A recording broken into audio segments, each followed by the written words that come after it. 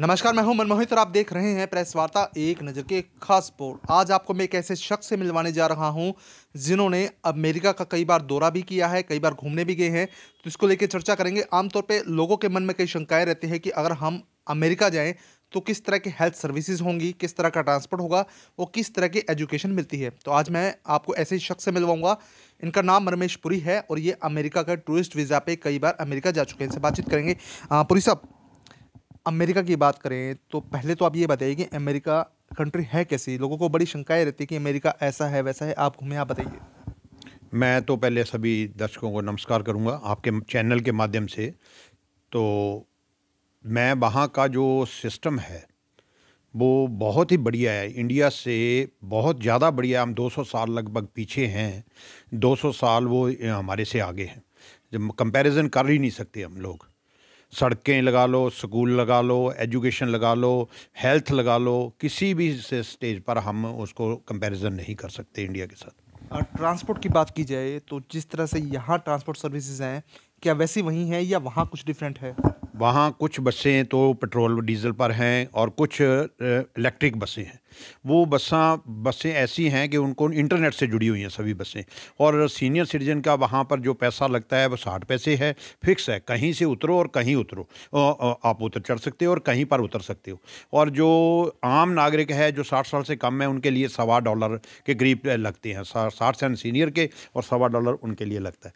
बाकी आप उसके लिए कनेक्टर नहीं है।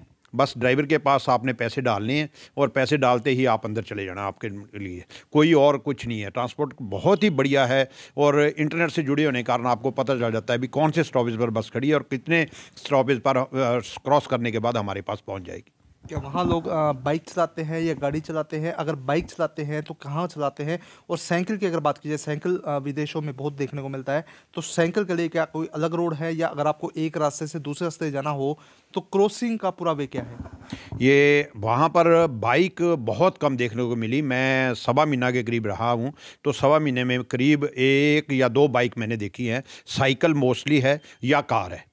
कार है या ट्रांसपोर्ट, बस ट्रांसपोर्ट है। और साइकिल, जो चलाने का ज़रिया है, वो फुटपाथ के ऊपर चलाएँगे। बिल्कुल नहीं चला सकते हम साइकिल सड़क के ऊपर। अगर सड़क के ऊपर चलाना है तो वहाँ किनारे के ऊपर ग्रीन पट्टी होगी और उसके ऊपर बाइक लिखा होगा। तो हम उसके ऊपर साइकिल चला सकते हैं अदरवाइज़ हम सड़क के ऊपर साइकिल नहीं चला सकते।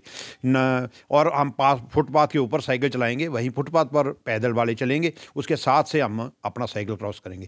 जहाँ तक सड़क क्रॉस करना है, जब हम साइकिल पे हैं तो हमें सड़क क्रॉस, जैबरा क्रॉसिंग से ही करनी पड़ेगी अदरवाइज़ आपका चलान होगा। आपको कैमरे में आ जाओगे, और आप कैमरे में उससे ट्रांस, आपको ढूंढ लिया जाएगा कुछ समय के बाद। और आपको जैबरा क्रॉसिंग में एक बटन है, वो उसको पुश करना पड़ेगा। पुश करने के पश्चात जैसे पैदल वालों की क्रॉसिंग आएगी तो पैदल का निशान आएगा तो आप तब वो आपकी सड़क क्रॉस कर सकते हो, अदरवाइज़ आपको वेट करना पड़ेगा। और जब जो गाड़ियाँ हैं, अगर जब आप क्रॉस कर रहे हो तो कम से कम आपसे गाड़ियाँ 20 फुट की दूरी पर ऑटोमेटिकली रुक जाएँगी। और गलती से भी मान लीजिए आप जैबरा क्रॉस से कोई बुज़ुर्ग आदमी है, गलती से क्रॉसिंग कर लग गया, उसने बटन नहीं दबाया तो भी गाड़ियाँ ऑटोमेटिक बीस बीस फुट पे दोनों तरफ़ रुक जाएँगी आपके लिए। और पैदल आदमी को, जो आम आदमी है, उसको तो पहल दी जाती है। बिल्कुल इंडिया की बात की जाए एजुकेशन सिस्टम बड़ा डाउन है, सरकारी की बात करें तो। प्राइवेट इंस्टीट्यूशन से लोग भागते हैं तो अगर एक एक बच्चे की बात की जाए तो साल का पचास साठ साठ साठ हज़ार रुपया कहीं ना कहीं जो है एक परिवार पे पड़ता है। तो एजुकेशन सिस्टम सर वहाँ कैसा है?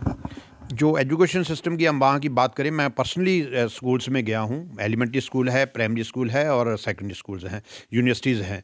तो मैं प्राइमरी स्कूल में भी गया हूँ, एलिमेंट्री स्कूल का भी मैंने भी देखा है। जो वहाँ प्राइमरी स्कूल है, उनका सारा स्टडी फ्री है। उनकी बुक्स फ्री हैं।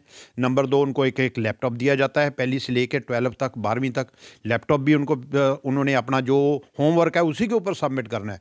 अदरवाइज़ जो बच्चा है, अगर होमवर्क उसने सबमिट नहीं कराया तो उसके पेरेंट्स को एक मैसेज आ जाएगा मोबाइल के ऊपर और उसके मोबाइल लैपटॉप पर भी मैसेज आएगा कि भी आपने होमवर्क सबमिट नहीं कराया। और जो, वो सारा कुछ फ्री है, बुक्स है और खाने की बात करें, यहाँ इंडिया के अंदर तो मिड डे मील के नाम पर हम खिचड़ी, दलिया वगैरह देते हैं तो वो हम कह देते हैं कि हमने मिड डे मील शुरू कर दिया।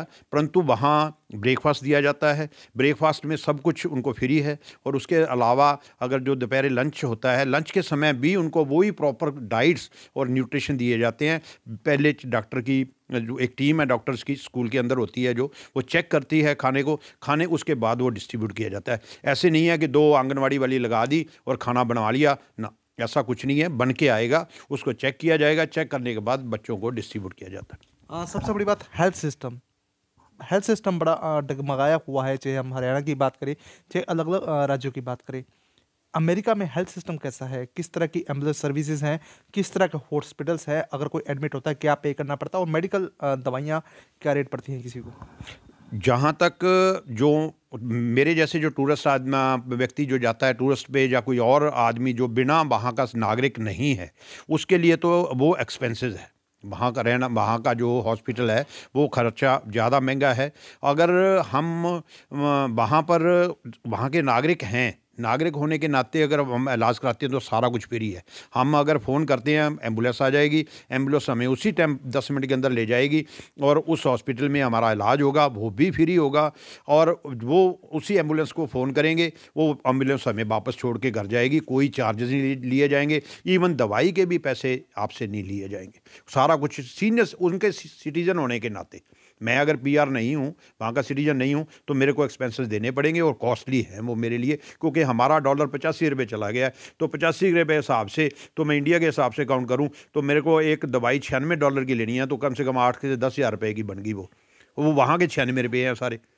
तो वहाँ ये सिस्टम बहुत ही अपने लिए महँगा है, परंतु उनके लिए बिल्कुल फ्री है, जो वहाँ के लिए बच्चे से लेकर। अगर किसी के घर में कोई बच्चा पैदा हो गया, बच्चा पैदा है हॉस्पिटल में पैदा हुआ तो फ़र्स्ट तीन साल तीन साल तक का बच्चे का खर्चा गवर्नमेंट देगी। एक हज़ार डॉलर उसको पर मंथ उस बच्चे की फीडिंग के लिए, उसके खाने पीने के लिए तीन साल तक उसके घर में आएँगे और तीन साल के बाद बच्चे की पढ़ाई का खर्चा जो है वो गवर्नमेंट उठाएगी। वो गौर स्कूल में चला जाएगा, किसी किंडर गार्डन स्कूल में चला जाएगा और वहाँ प्राइवेट स्कूल्स भी हैं, उनको वो चार्जेस लेते हैं। गवर्नमेंट स्कूल में कोई खर्चा नहीं है गवर्नमेंट, जितने भी गवर्नमेंट स्कूल्स हैं। सबसे बड़ी बात टैक्स सिस्टम कैसा है? क्योंकि आप तो जानते हैं कि अगर भारत की बात की जाए तो जीएसटी चोरी टैक्स चोरी, मामले कई हैं, क्योंकि लोगों की सोच होती है कि जब हमें सरकार की तरफ़ से रिटर्न में वापस कुछ नहीं मिलता तो पे क्यों करे? कई कालाबाजारी भी होती है। अमेरिका की बात करते हैं अमेरिका में टैक्स सिस्टम कैसा है? जहाँ तक टैक्स सिस्टम की बात करते हैं, वहाँ पहले ही बात है सैलरी जो आपको देनी है, वो टैक्स के काट कर ही दी जाएगी। उसमें कोई रिटर्न भरने की ज़रूरत नहीं है, यहाँ रिटर्न भरनी है, वहाँ जो सैलरी आपको दी जानी है, पर आवर्स के काम पर दी जानी है। मैंने होंडा कंपनी में भी मैं गया था, वहाँ कार वाशिंग पे भी मैं गया था, काफ़ी जगह पर मैंने विज़िट करा है। तो वहाँ पर जो उनसे बात करी तो वो बता रहे थे भी नहीं कि हमें जो टैक्स अगर आठ घंटे हमारी मिनिमम ड्यूटी है, आठ घंटे से ऊपर कंप्यूटर में जब हम हाजिरी लगाएँगे, दस मिनट ऊपर चलेंगे तो हमारे दस मिनट के भी पैसे उसमें ऐड हो जाएँगे। और जब हमें सैलरी दी जाएगी, या वीकली सैलरी सैलरी भी देते हैं, कुछ कुछ मंथली सैलरी देते हैं। जो वीकली सैलरी है, वो आपको उसमें टैक्स काट कर जितना आपका टैक्स बनेगा, वो काट कर दिया जाएगा। और आप जो सामान परचेज़ करोगे वालमार्ट वगैरह से किसी मॉल से तो वो भी टैक्स उसके ऊपर लगकर, जो मिनिमम टैक्स है, तीन परसेंट, दो परसेंट, जो उसके अनुसार है। कई मॉल्स हैं नाइन्टी नाइन सेंस है, एक डॉलर ट्री है, उन पर कोई टैक्स नहीं लगता। उन पर जो सामान खरीदते हैं, उनका रेट ही फिक्स है, एक डॉलर में ये सामान है, ये उस पर कोई टैक्स नहीं लगता। बाकी आपको टैक्स काट पहले जो सैलरी दी जानी है, काट के दी जानी है, और जो सामान लेना है, उसके ऊपर जो मिनिमम टैक्स है, वो उन्होंने ले लेना आपके ऊपर। और वो इंटरनेट से जुड़े हुए हैं, उनके कंप्यूटर। हमारे होटल्स में क्या है? कस्टमर से तो पैसे ले लिए जाते हैं, परंतु इंटरनेट से ना जुड़े होने के कारण वो गवर्नमेंट को शो नहीं होते। गवर्नमेंट को शो नहीं होता भी इतना किससे कितना पैसा पैसा टैक्स लिया है। मान लीजिए हमने होटल में खाना खाया, होटल में हमारे से टैक्स ले लिया उसने दस डॉलर या दस रुपये यहाँ इंडिया के अंदर तो वो हमें तो पर्ची दे दी उसने जीएसटी लगा के यहाँ तो उसने पे कराया कि नहीं कराया यहाँ पर ये सिस्टम है। वहाँ जो उनका जो सिस्टम है, जो कंप्यूटर है, वो इंटरनेट से जुड़े होने के कारण उसी टाइम वो दस डॉलर उनके पास चले गए। जो टैक्स काटा गया, उसी टाइम गवर्नमेंट के पास वो चले गए। और उसके पश्चात जो उनका टैक्स का जो सिस्टम है, उसी टैक्स के अनुसार ही आपको पेंशन देनी है। मान लीजिए एक आदमी ने काम किया दस साल काम कराया वो साठ साल, पैंसठ साल का हो गया और पैंसठ साल तक उनका सीनियर सिटीजन की, उनकी काउंट की जाती है बाउमर पैंसठ साल के बाद उसको पेंशन दी जाती है। और मिनिमम 960 डॉलर उसको पेंशन देनी देनी है। उसकी वाइफ ने कोई काम नहीं कराया। वो पैंसठ साल की काम हो गई तो उसको भी 960 डॉलर ऐटोमेटिक उसकी डेट ऑफ़ बर्थ के अनुसार लग जाने हैं उसके घर आ जाने। ये नहीं है अभी उसके बाद यहाँ तो कहते हैं जी, फार्म भर लो, मंजूरी देंगे जी, हम आपके कार्ड के साथ, परंतु वहाँ डेट ऑफ़ बर्थ के अनुसार आपको नौ सौ साठ डॉलर आपको मिलने ही मिलने यानी सत्तर हज़ार के आसपास हर बुज़ुर्ग को पेंशन मिलेगी वहाँ? हाँ, लगभग लगभग इतने मिलनी वो इंडिया में भी अगर आ जाता है इंडिया में भी आ जाता है तो उसको फिफ्टी परसेंट पेंशन भी मिलती रहेगी। अगर मैंने उनसे बात करी कुछ सीनियर सिटीजन से वहाँ के जो रहने वाले थे अगर कहते जी हम इंडिया वापस चले जाते हैं यहाँ से हमें बीस बीस साल हो गए अब हम पैंसठ सत्तर साल के हो गए एक तो छिहत्तर साल का था तो हमें पचास परसेंट पेंशन इंडिया में भी ये गवर्नमेंट देगी। क्या लगता है कि फ़ौरन की जो टेक्नोलॉजी है अमेरिका की जो टेक्नोलॉजी है अभी तक भारत में अपनाई भी गई है। अपने मंत्री और जो अपने चीफ मिनिस्टर्स हैं या ऑनरेबल मिनिस्टर्स हैं हमारे एमएलएस भी कई जाते हैं तो सेंट्रल मिनिस्टर भी कई फॉरन के टूर का जाते हैं और सरकारी खर्चे पे भी जाते हैं, परंतु वो वहाँ की जो पॉलिसियाँ हैं, देखने के लिए जाते हैं, परंतु इंडिया के अंदर अडॉप्ट नहीं करते। इंडिया के अंदर अगर वो अडॉप्ट करें और वो अपने एक्सपेंसेस कम करके इन इंडिया में अपने अडॉप्ट करना शुरू कर दें तो हमारा इंडिया भी कहीं ना कहीं उनका उनके नज़दीक पहुँच सकता है। बराबरी तो नहीं कर सकता मैं 200 साल तक कह सकता हूँ। 200 साल कम से कम हम पीछे तो आ, अगर आप कंपैरिजन की बात करें आ, अगर अमेरिका में कोई व्यक्ति सर्वाइव करता है तो क्या मान के चलते हो एक व्यक्ति का पर मंथ की अगर खर्च की बात करें तो कितना खर्च उसका हो जाएगा? क्योंकि डेढ़ महीना आप अमेरिका में रहे हैं तो आप ज़्यादा बेहतर बता पाएँगे। मैं वहाँ के खाने पीने की बात करूँ तो एक फैमिली, पाँच मेंबर थे हम फैमिली के अंदर, पाँच से छः मेंबर थे। हमारा औसतन खर्चा खाने खाने का सिर्फ़ पाँच सौ और छः सौ रुपये था।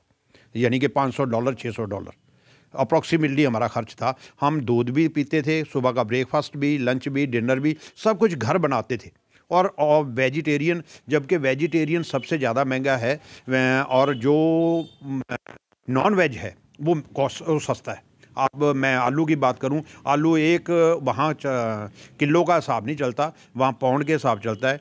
एक पाउंड जो एक डॉलर का मिलता था जो है नॉन वेज और जो आलू है वो ए दो डॉलर का एक पाउंड मिलता था। तो आलू की आप सब्ज़ी की नॉन वेजिटेरियन करें तो भी यानी कि जो हमारा खर्चा था, हम वेजिटेरियन थे, लगभग किसी कोई नहीं खाता था तो वो अंडा वगैरह ज़रूर मंगा लेते थे, परंतु बहुत ही चीप है खाना, और वो जो खाना होगा, शुद्ध होगा खाना, आपको बिल्कुल शुद्ध खाना, अगर वहाँ खाना भी जो है जो आपका जो सब्ज़ियाँ वगैरह मार्केट वहाँ लेने जाते हो, मार, मॉल वगैरह में तो वालमार्ट वगैरह में, वो डेढ़ फुट सड़क से नीचे धरती से ऊपर रखी जाएँगी। नीचे बिल्कुल धरती के ऊपर, जैसे यहाँ इंडिया के अंदर अपने पल्ली बिछा के, बोरी बिछा के नीचे रख दी जाती हैं, वहाँ ऐसे सब्ज़ी रखना अलाउड नहीं है। आपको हेल्थ जो इंस्पेक्टर है, वो ही चलान कर सकता है आपका और वो बंद कर सकता है। वो डेढ़ फुट कम से कम धरती से ऊपर बनी होगी और पूरी चिल्ड होंगी वहाँ का, जो भी सामान होगा।